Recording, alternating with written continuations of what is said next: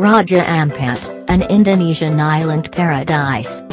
The territory within the islands of the Four Kings is enormous, covering 9.8 million acres of land and sea, home to 540 types of corals, more than 1,000 types of coral fish and 700 types of mollusks. This makes it the most diverse living library for world's coral reef and underwater biota.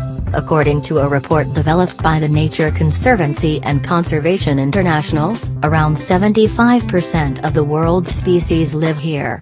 When divers first arrive here their excitement is palpable. It's common to hear people praise God as they take in the remarkable scenery.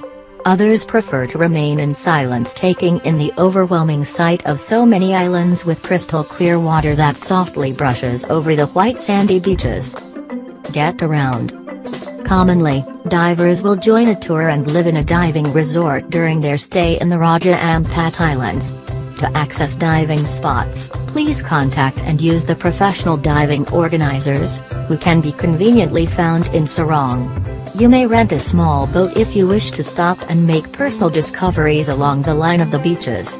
You can also trek around the islands to find hidden beauties, like waterfalls and ancient caves.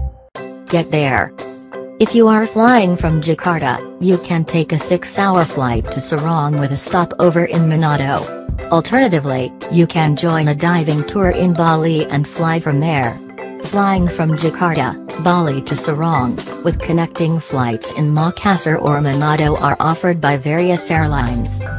There are also daily ferries available between Sorong and Hua, capital of the Raja Ampat district on the island of Waigeo. The journey takes between 1.5 2 hours. There are also speedboats for rent at Sorong.